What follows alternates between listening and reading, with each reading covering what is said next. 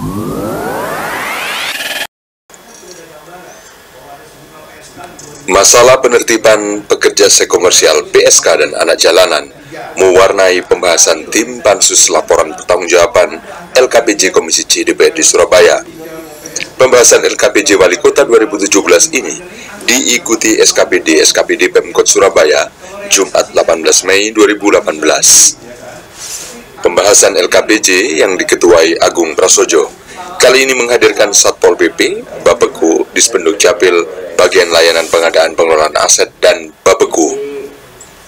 Vicentius Awe, anggota tim Pansus LKPJ 2017, sempat menanyakan kinerja Satpol PP dalam penertiban PSK dan anak jalanan di Surabaya. Disebutkan Satpol PP 2017 pasang target penertiban PSK 363 orang, terrealisasi 3.100 orang.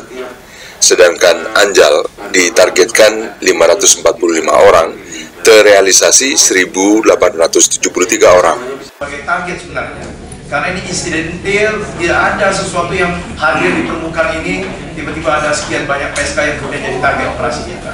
Mungkin ini jadikan apa ya? Saya nggak tahu ini kriteria seperti apa yang perlu dijadikan uh, evaluasi bersama. Ya. Sementara kalau penertiban uh, hiburan malam kan sudah jelas, ada targetnya, ada lokasinya dan sebagainya. Mungkin itu masukan dari saya. Yang kedua, untuk yang pertama terkait dengan Anjal, Gepeng kemudian PSK. PSK. Jadi uh, kita tidak terus mengatakan bahwa di situ sudah jelas ada PSK dan lain sebagainya. Akan tetapi yang kita laksanakan ini adalah di saat kita melakukan uh, patroli yang kita lakukan setiap harinya. Dan kita juga menentukan untuk lokasi-lokasi yang kita datangi terutama di tempat-tempat yang kita kategorikan rawan dan sebagainya.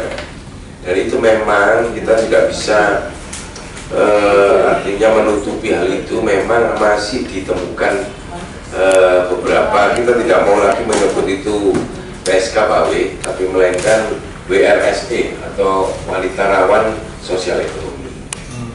Itu masih kita temukan di beberapa tempat dan beberapa kali juga contohnya seperti kita di uh, apa istilahnya kalau bahasa Surabaya ban sepurnya di Tandes kemudian ban sepur di Wonokromo dan sebagainya. Itu masih beberapa kali kita temui masih ada seperti itu.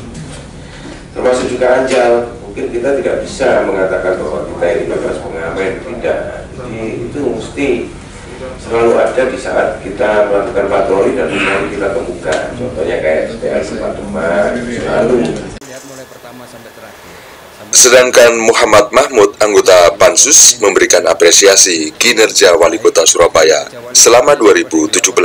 Lihat mulai pertama sampai terakhir, sampai hari ini, itu yang dilaporkan indikator-indikator justru lebih baik kinerja wali kotanya daripada yang dilaporkan ini. Hmm. Maksudnya? Jadi misalnya, salah satu contoh misalnya ini ya, ada bagian kerjasama. Kerjasama itu bisa kerjasama perdagangan, kerjasama internasional dan lain-lain. Justru yang dilakukan wali kota itu jauh lebih baik yang dilaporkan karena yang laporan ini berdasarkan indikator-indikator yang sudah dicipta oleh Dagri dengan pola seperti itu sehingga dipenuhi dipenuhi dipenuhi angka-angkanya. Tapi faktanya itu jauh lebih baik dibanding yang dilaporkan. Itu salah satu contoh. Lalu investasi, oh, dinas perdagangan, lalu pembangunan lapangan-lapangan dan lain-lain. Nah, ini dari semua yang dilaporkan itu menurut saya justru lebih baik kenyataan wali kota di lapangannya dibandingkan dengan Menurut sampean kenapa bisa? Pembahasan LKPJ oleh Pansus ini sudah harus selesai akhir Mei 2018 karena hanya diberi waktu 30 hari untuk pembahasan sejak diserahkan wali kota. Berita video.net, surabayakita.com melaporkan.